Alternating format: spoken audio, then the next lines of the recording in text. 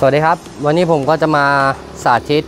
กระป๋องพ่นโฟมนะครับ หรือเครื่องทำโฟมแลนด์นะครับ เดี๋ยวเรามาดูกระป๋องพ่นโฟมกันเลยนะครับ ว่ามีอุปกรณ์อะไรแถมมาบ้างนะครับภายในกล่องก็จะมีนะครับ หัวฉีดโฟมนะครับ พร้อมสายนี่นะครับกระบอกฉีดโฟมนะครับ แล้วก็อุปกรณ์นะครับ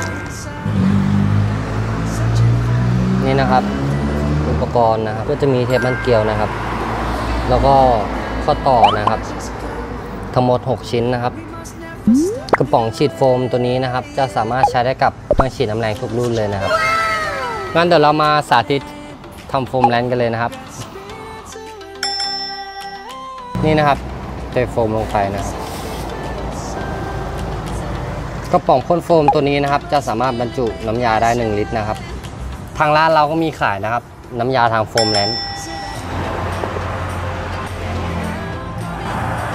สำหรับปืนตัวนี้นะครับ จะใช้ข้อต่อตัวนี้นะครับ ใส่ข้อนี้เลยเราก็ใส่กระบอกพ่นโฟมนะครับ